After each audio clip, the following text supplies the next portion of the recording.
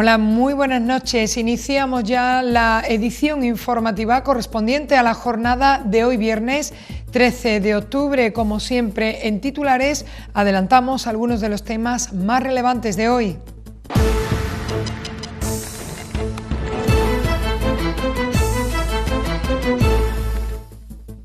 Los Palacios y Villafranca acoge mañana sábado 14 de octubre la segunda marcha solidaria por la donación, que saldrá a las 12 desde la Rotonda de los Donantes en dirección al Parque de las Marismas, donde habrá una jornada de convivencia. El concejal del Partido Popular, Manuel Vargas, critica que una moción tan importante como son las cuentas anuales se lleve a pleno en una convocatoria matinal, dado que algunos concejales de la oposición no pueden asistir por motivos laborales. Loli Rincón del restaurante Manolo Mayo, seleccionada para la final del decimotercer concurso nacional de pinchos y tapas Ciudad de Valladolid. La cita tendrá lugar los días 6, 7 y 8 de noviembre. Derrota de los Palacios Club de Fútbol que adelantó su partido de la jornada ayer jueves. La Liara jugará mañana sábado. La agrupación deportiva Mosqueo y el Atlético Maribáñez lo harán en la mañana del domingo.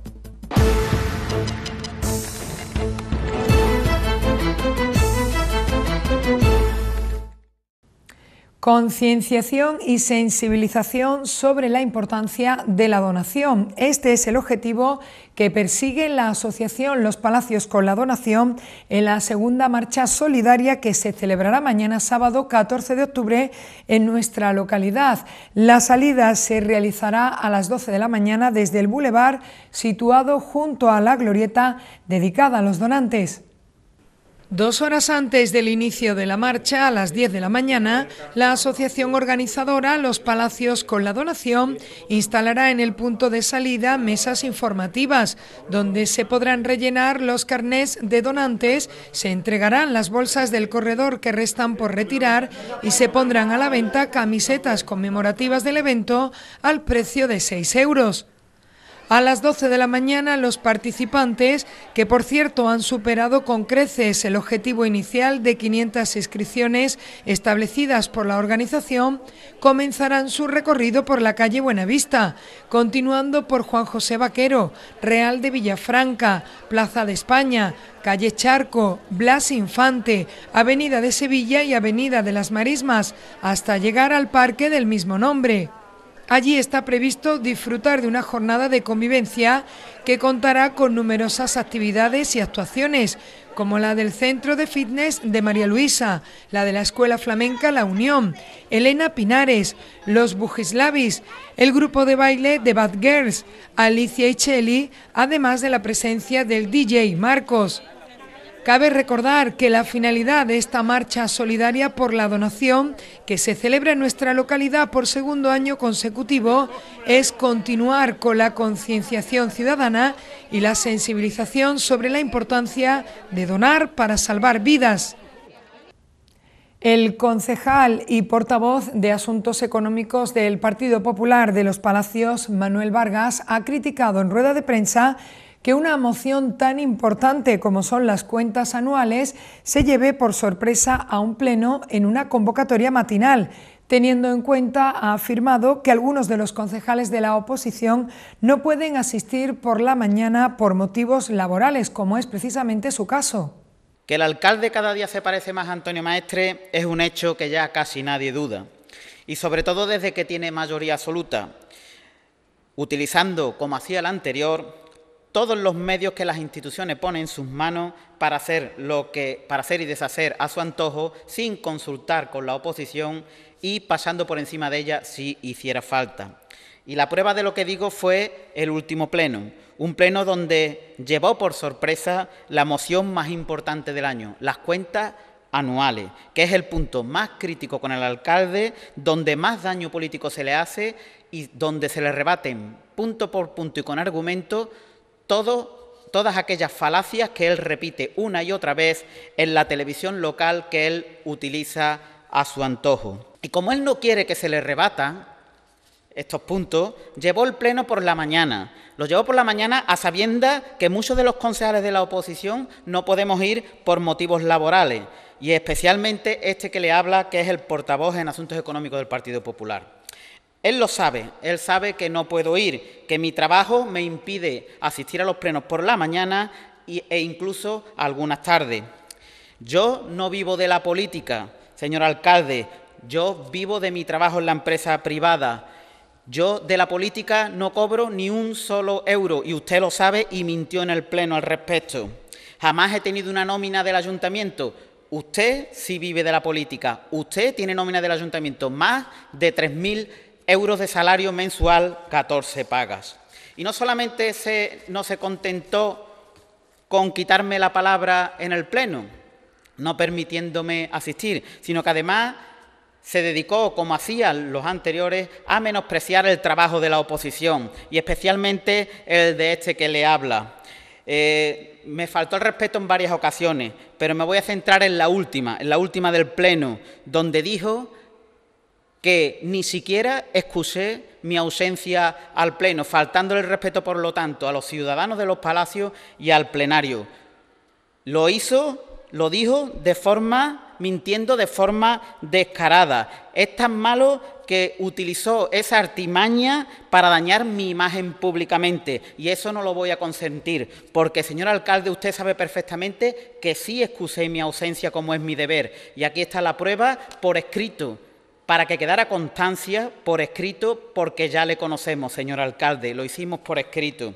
Y usted mintió sabiendo que, lo, que excusé mi ausencia para dañar mi imagen públicamente. Por lo tanto, le pido desde aquí que pida disculpas públicamente a este que le habla y a mis compañeros de partido por mentir sobre mi persona y la de mis compañeros.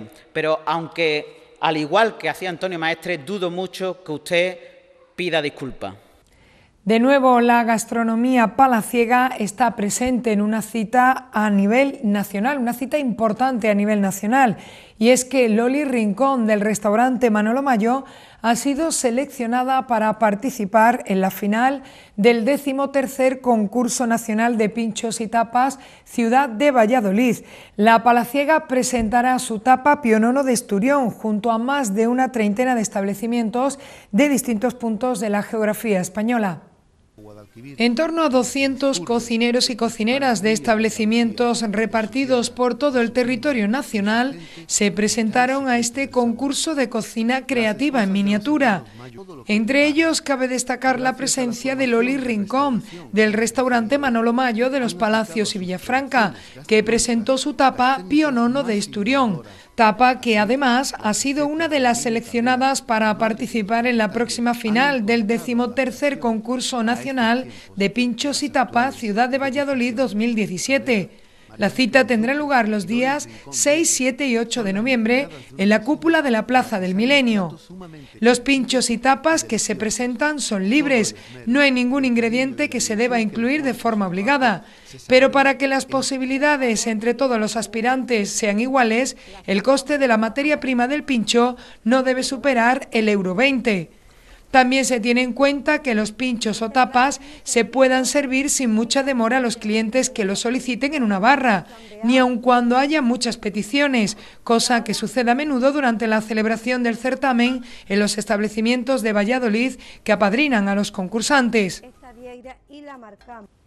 Continuamos con otros asuntos. Los pantanos que abastecen de agua a la capital hispalense y su área de influencia, Aracena y Zufre, situados en la provincia de Huelva, y La Minilla, El Jergar y Melonares, en la de Sevilla, se encuentran al 68% de su capacidad. 15 puntos menos que hace un año, con 407 hectómetros cúbicos de agua acumulados, según datos facilitados por la Confederación Hidrográfica del Guadalquivir. La ausencia de precipitaciones ha propiciado un descenso notable de las reservas en estos embalses integrados en Emasesa, almacenando en la actualidad 80 hectómetros cúbicos menos que hace un año, aunque con el agua acumulada al día de hoy se garantiza el abastecimiento a Sevilla y su entorno hasta el año 2020, ya que el consumo mensual se sitúa en unos 10 hectómetros cúbicos. Así, el pantano de Melonares, ubicado en los términos municipales de Castilblanco de los Arroyos, El Pedroso, Cazalla de la Sierra y Almadén de la Plata, es el que acumula la mayor cantidad de agua, con 133 hectómetros cúbicos, encontrándose al 71% de su capacidad. Zufre, en la Sierra de Huelva, con 123 hectómetros cúbicos, se encuentra al 70%, mientras que el de Aracena, también de la provincia onubense, con 88 hectómetros cúbicos embalsados, supera el 65% de su capacidad. Los otros embalses que abastecen a la capital hispalense, el de La Minilla, situado entre los municipios del Castillo de las Guardas, El Garrobo y El Ronquillo, almacena 42 hectómetros cúbicos y está al 72% de su capacidad, mientras que el del Jergal, también en la provincia sevillana, suma 20 hectómetros cúbicos, encontrándose por tanto al 58% de su capacidad. Aunque los datos no son alarmantes en dichos embalses, ya que según la Confederación Hidrográfica del Guadalquivir el estado de alerta significa una garantía de abastecimiento de tres años, la prealerta por sequía ya empieza a bordearla en otras áreas de la cuenca del Guadalquivir, como en las provincias de Jaén y Almería, además de varias zonas de Málaga, Córdoba y Granada, donde las lluvias se encuentran desde hace dos años por debajo de la media para que las presas de abastecimiento a Sevilla y su área metropolitana lleguen a encontrarse en la misma situación que en mayo de 2016, al 93% de su capacidad de almacenamiento, debería producirse un periodo de abundantes y continuadas precipitaciones, al menos durante el resto del otoño y los primeros meses del invierno. Como nota de interés, antes de marcharnos a publicidad, decirles que el Consejo Local de Hermandades y Cofradías de los Palacios y Villafranca ha anunciado que el próximo 4 de diciembre se celebrarán las elecciones a su Junta Superior. Las personas interesadas podrán presentar sus correspondientes candidaturas hasta el próximo 10 de noviembre. La lista de candidatos habrá de comunicarse a la Secretaría de este Consejo. Lo dicho con esta nota, nos marchamos a publicidad y regresamos con la actualidad deportiva.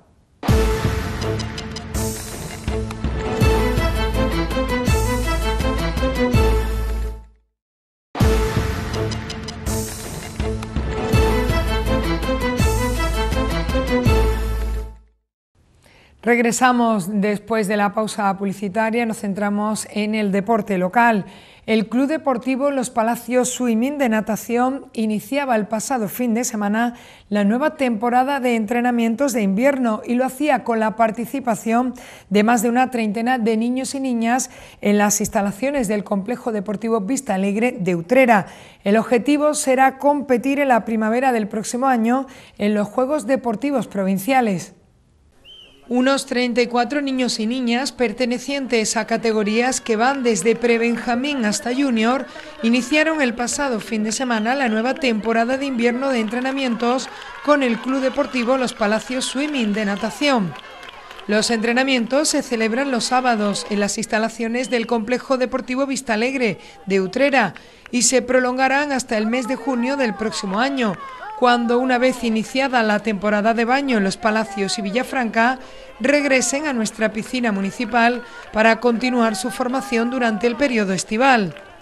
Los entrenamientos tendrán como objetivo la competición en los Juegos Deportivos Provinciales que organiza la Diputación de Sevilla y que previsiblemente arrancarán en el mes de abril del próximo año 2018. Aquellas personas que estén interesadas en pertenecer al Club Deportivo Los Palacios Swimming podrán recibir más información en las instalaciones del Complejo Deportivo Utrerano de Vista Alegre. Será los sábados, coincidiendo con el día de entrenamiento o bien comunicarlo por redes sociales en la página Facebook que tiene este equipo palaciego.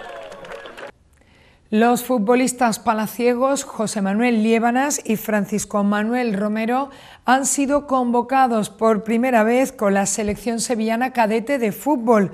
Fue para un partido amistoso jugado el pasado miércoles 11 de octubre frente al Santiponce Juvenil.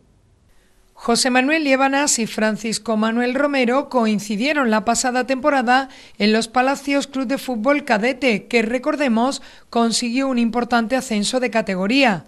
En la actualidad, el central Liebanas juega en la división de honor con el Nervión, mientras que Romero, delantero, milita en las filas de Lutrera categoría andaluza cadete. Los dos han coincidido en la convocatoria de la selección sevillana de fútbol, en el partido amistoso disputado frente al Santiponce Juvenil, que se saldó con un abultado 5 a 0 para el combinado sevillano. De hecho, tres de los cinco tantos fueron obra del palaciego Francisco Manuel Romero, que debutó, por tanto, con un hat-trick. Hablamos ahora de fútbol senior. La agrupación deportiva Mosqueo y el Atlético Maribáñez intentarán repetir este próximo domingo los buenos resultados logrados en la pasada jornada liguera. La Liara Balompié tratará de lograr mañana sábado los primeros puntos de la temporada. Por su parte, los Palacios Club de Fútbol sufrió ayer jueves una derrota ante la Peña Deportiva Rociera, un encuentro que se había adelantado con motivo de la celebración de la romería de Balme. Los Palacios Club de Fútbol no logró un resultado positivo en su visita a la Peña Deportiva Rociera. El encuentro se jugó ayer jueves a las 12 del mediodía en la ciudad nazarena, después de que ambos conjuntos acordaran adelantarlo debido a la celebración de la romería de Balme, que tendrá lugar el próximo domingo. Los de Raúl Carmona tuvieron varias ocasiones para adelantarse en el marcador, pero no estuvieron acertados de cara al gol. El desacierto y las dudosas decisiones arbitrales hicieron que los Palacios Club de Fútbol no pudiera volverse con un resultado favorable. Tras esta derrota, los palaciegos se mantienen quintos con 11 puntos. La próxima semana recibirán a la Unión Deportiva Tomares. La Liera Balompié buscará este fin de semana en casa los primeros puntos de la temporada y pasar así página en este mal arranque liguero. Será ante el Club Deportivo Pedrera el sábado a las 8 de la tarde. Desde el Club Verde y Blanco destacan la juventud de su plantilla, a la que además cada semana se suman jugadores del juvenil. Esta circunstancia pasa factura en algunos partidos, pero la Liara confía en que los futbolistas se adapten pronto a la categoría. Los de Manuel García Romero vienen de perder por dos goles a uno ante el Club Deportivo Coronil.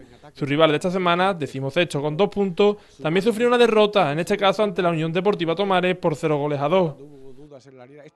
Por su parte, la agrupación deportiva Mosqueo tratará de hacerse fuerte también fuera de casa e intentará recortar distancias respecto al líder de la categoría, el Casalla de la Sierra. Jugará el domingo a las 12 y cuarto ante el Calavera Club de Fútbol de Sevilla. El encuentro se espera disputado frente a un equipo recién ascendido, pero que tiene un buen bloque de futbolistas. Los de Velasco, que marchan sextos con 12 puntos, vienen de vencer por dos goles a cero al Benacazón, Club de Fútbol. El Calavera solo ha sumado 5 puntos en lo que va de liga y es duodécimo en la tabla después de su derrota en la pasada jornada ante el Cabino Viejo Club de Fútbol. El Atlético Maribáñez buscará repetir victoria tras la lograda la pasada semana en La Motilla, donde venció por un gol a dos. En esta ocasión se presenta en el Rafael Ortega un rival complicado, pues el Club Deportivo Rabesa marcha líder con 9 puntos y solo conoce la victoria en estos primeros compases ligueros. Aún así, los de José Manuel Román Pica confían en dar la sorpresa de la jornada el encuentro será el domingo a las 12 del mediodía.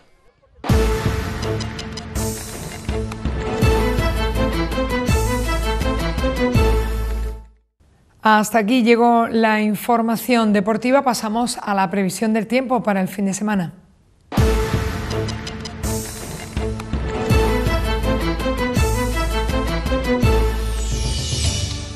Para mañana tendremos cielos con intervalos de nubes medias y altas, nubosidad de evolución diurna con una pequeña probabilidad de chubascos aislados y ocasionales en las sierras, temperaturas sin cambios, los vientos serán variables flojos. El domingo amanecerá con cielos poco nubosos o despejados, temperaturas sin cambios, máximas de 35 grados y mínimas de 17 en los Palacios y Villafranca. Para la jornada del lunes nos esperan cielos poco nubosos de evolución diurna y un descenso de las temperaturas, sobre todo de las máximas.